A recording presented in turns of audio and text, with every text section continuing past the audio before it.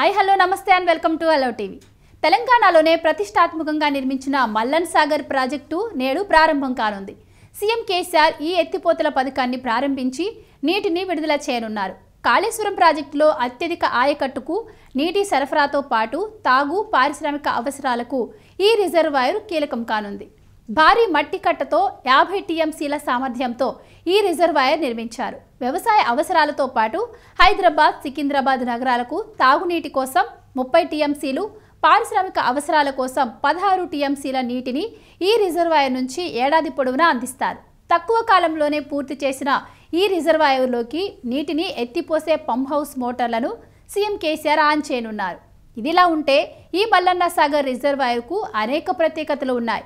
సాధారణంగా రిజర్వాయర్ అంటే ఒకటో రెండో టీఎంసీల నిల్వ సామర్థ్యంతో ఉంటాయి.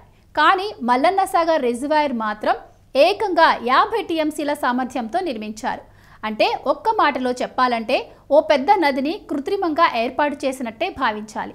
ఈ మల్లన్న సాగర్ రిజర్వాయర్ను సిద్దిపేట జిల్లా తోగుట మండలంలోని తుక్కాపూర్ గ్రామం వద్ద నిర్మించారు. మల్లన్న సాగర్ రిజర్వాయర్లో ఒక్కొక్కటి నలభై మూడు మెగావాట్ల సామర్థ్యంతో ఎనిమిది పంపులు ఉన్నాయి వీటి నుంచి రోజు సున్నా పాయింట్ ఎనిమిది ఐదు టీఎంసీల నీటిని మల్లన్న సాగర్లోకి ఎత్తిపోస్తారు.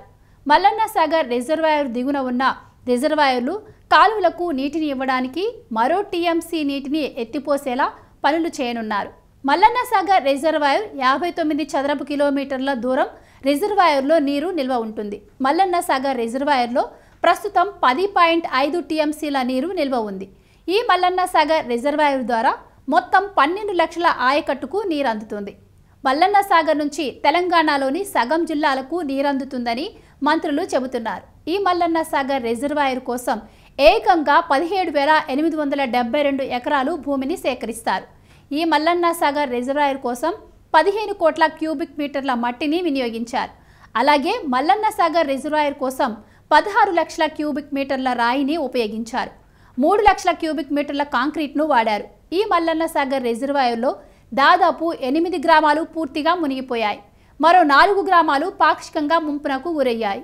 ఈ మల్లన్న సాగర్ను ఇవాళ సీఎం కేసీఆర్ ప్రారంభిస్తున్నారు.